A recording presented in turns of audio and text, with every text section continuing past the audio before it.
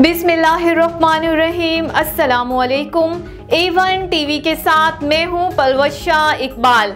नज़र डालते हैं हेडलाइंस पर। पंजाब के मुख्तलिफ़ मैदानी इलाके शदीद धुंध की लपेट में मोटरवे M2 को लाहौर से कोट मोमिन तक बंद कर दिया गया।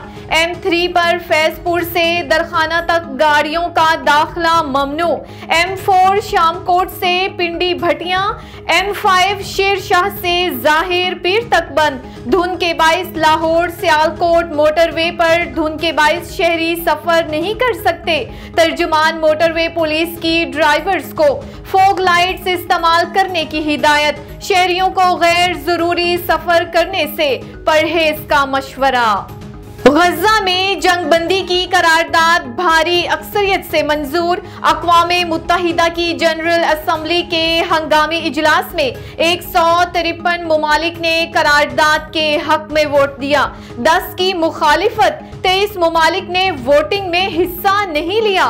पाकिस्तानी मंदूब मुनीर अकरम ने कहा कि इल्ज़ाम सिर्फ़ हमास को देना और इसराइल को बरी जमा करार देना।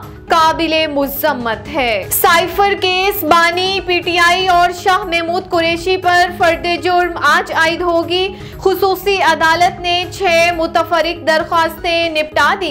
मजीद समात आज होगी। अदालत की मुलजिमों के वकला को चालान की मुकम्मल नकूल फराहम करने की हिदायत। जज अबू अल हसनात ने रिमार्क्स दिए कि आउट ऑफ़ वे जाकर रिलीफ दिया। मेरिट पर जो हक बनता है, दिया जाएगा। मुतवाजन और न्यूट्रल होकर केस चला रहे हैं।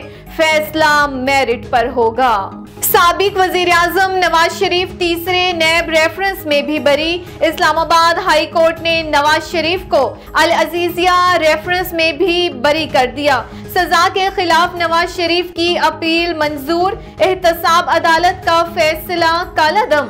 इस्लामाबाद हाई कोर्ट के चीफ जस्टिस आमिर फारूक और जस्टिस मियाँ गुल हसन औरंगज़ेब ने फैसला सुनाया। चीफ जस्टिस ने रिमार्क्स में कहा कि मफरूजों की बुनियाद पर सजा नहीं होती। जितनी भी दस्तावेजात दिखाई गई, वो फ़ोटो कापियाँ थी, जिसे बतौर शहादत पेश नहीं किया जा सकता। और डेरा इस्माइल खान में शहीद तेईस बहादुर फौजी जवानों की नमाज़ जनाजा अदा कर दी गई। नमाज़ जनाजा में कोर कमांडर, पिशावर, फौजी और सिविल अफसरान की शिरकत। डीआई खान में हमले और ऑपरेशंस में 25 जवान शहीद। 27 दहशतगर्द जहनुम वासिल हो गए।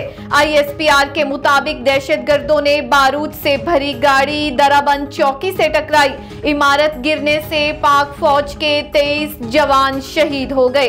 दराबंद वाक़े में मुलविस तमाम छह दहशतगर्द मारे गए। हेडलाइंस आपने जानी, ए वन टीवी के न्यूज़ स्टूडियो से फिल वक्त इतना ही। मजीद खबरों और अपडेट्स के लिए देखते रहिए A one TV. One TV. सब पे नज़र अंदर की खबर।